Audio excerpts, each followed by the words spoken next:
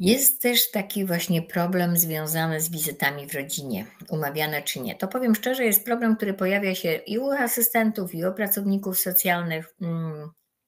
Ja może powiem, jakie jest moje stanowisko w tej sprawie, bo, bo ustawa na ten temat milczy, tak? Nie ma. Co prawda, kiedy jest zapis o tym, że mamy to, że ma, asystent ma ustalać jakby wszystko z rodziną, to można go trochę rozszerzyć może trochę nadmiarowo w tym momencie, również na te wizyty. I teraz tak, ja osobiście uważam, ale tak jak mówię, jest to w mojej ocenie, że należałoby się umawiać. To znaczy, pamiętajmy, kim jesteśmy. Mm, jesteśmy asystent czy pracownik socjalny. Tutaj dla mnie nie ma wielkiej różnicy. Jest y, takim elementem systemu wsparcia. Jest trochę gościem w tej rodzinie. No to gościa się zaprasza i z gościem się umawia. Nie wiem jak Państwo, ale ja nie w każdym momencie mojego życia i funkcjonowania w domu chciałabym mieć gości. I to z różnych powodów. Również dlatego, że czasami jestem zmęczona i mam po prostu nieład, a czasami po prostu jestem zmęczona i może niekoniecznie mam ochotę, żeby ktoś był. Mm, więc poza tym efektywność wizyty asystenta też jest trochę uzależniona od tego, co w danym momencie może tej rodzinie zaoferować, ale też od tego, co ta rodzina potrzebuje. Więc warto byłoby ustalać jakby ten termin wizyty, choćby dlatego, żeby na przykład był to, e, jeżeli ma to być wsparcie w kompetencjach związanych ze wsparciem dziecka, mm, które jest dzieckiem szkolnym, i tu chodzi o to, żeby pokazać, w jaki sposób rodzic może wspierać je w w tym procesie edukacyjnym, niekoniecznie pomagając, bo od tego, jeżeli są problemy, to przypominam, szkoła, pedagodzy, dodatkowe godziny, korepetycje, które szkoła ma obowiązek zapewnić, więc tu jakby nie chodzi o to, że mm, mamy nauczyć rodzica e, kompetencji na przykład matematyki na poziomie szóstej klasy, bo nie wiem, czy ja bym sobie z tym na przykład poradziła.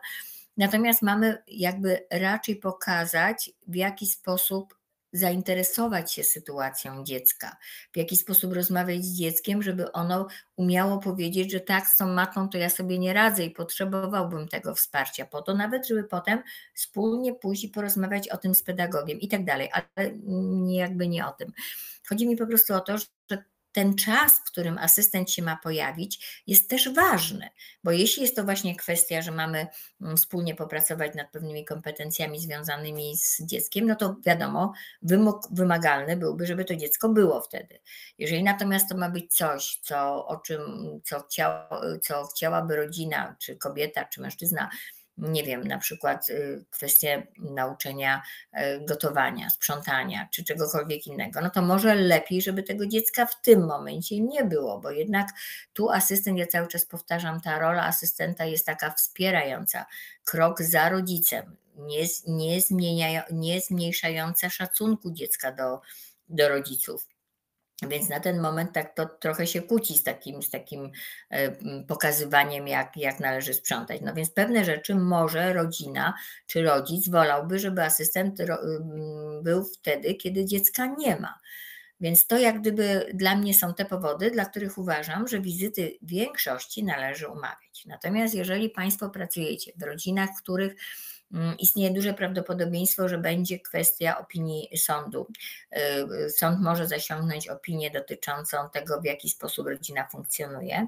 To ja bym, ja przynajmniej tak bym zrobiła, że rozmawiałabym z rodziną w otwarte karty i powiedziała, że ponieważ może być taka sytuacja, że sąd e, może zapytać po prostu, bo ja niejednokrotnie słyszałam takie pytanie, czy e, wizyta była zawsze zapowiedziana, to umówić się z rodziną, że od czasu do czasu, jak gdzieś będę w okolicach, to proszę pozwolić mi, że zadzwonię. Oczywiście, jeżeli pani będzie, czy pan będzie, to mnie państwo wpuścicie, tak? I to będzie taki rodzaj naszej wspólnej umówienia się na wizyty nieumawiane.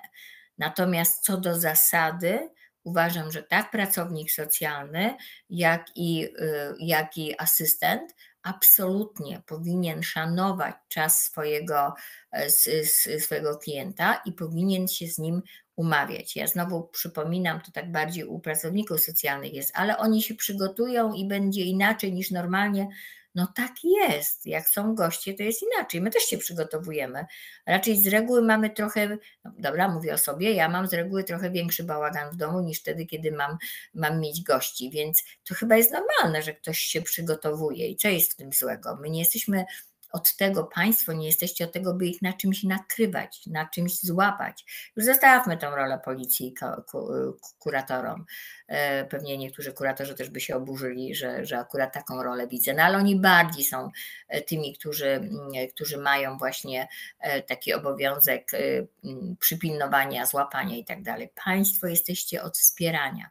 Dajcie sobie i rodzinie to poczucie, że jesteście od wspierania. Czyli odpowiadając, raczej wizyty powinny być umawiane.